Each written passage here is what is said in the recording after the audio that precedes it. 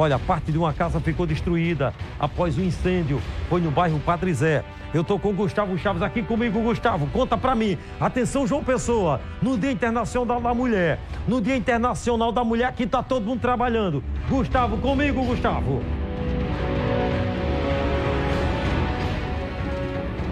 Uma casa pegou fogo aqui na ladeira que liga o Padre Zé ao bairro de Mandacaru. Como vocês estão acompanhando, é...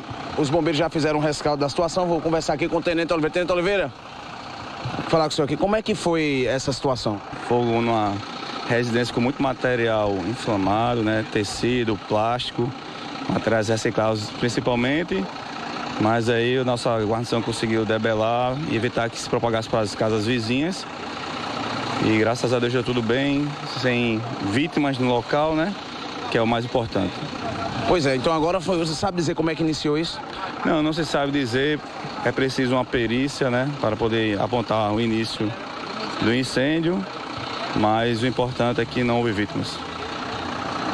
Pois é, o bombeiro já no local desde ontem, pressão total é, no que vem acontecendo, acidentes e essa situação aqui no bairro do Padre Zé. Aqui, ó, o pessoal já entrou, ó, muito lixo, muito lixo, muita reciclagem, animais, os gatinhos aqui, ó.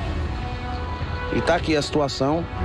É a casa completamente lotada de reciclagem e foi muito fogo e por pouco não passou para outras residências aqui da vizinhança. Infelizmente a situação, segundo informações ela tem problemas mentais, o irmão quer levar ela para internar, mas ela não quer.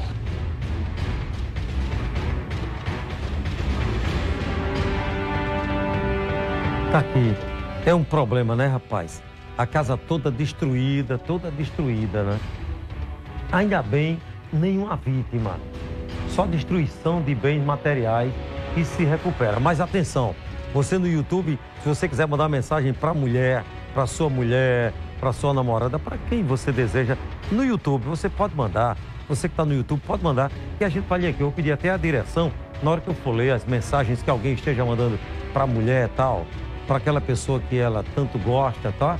Aí eu vou bem lentamente passando para eu ler.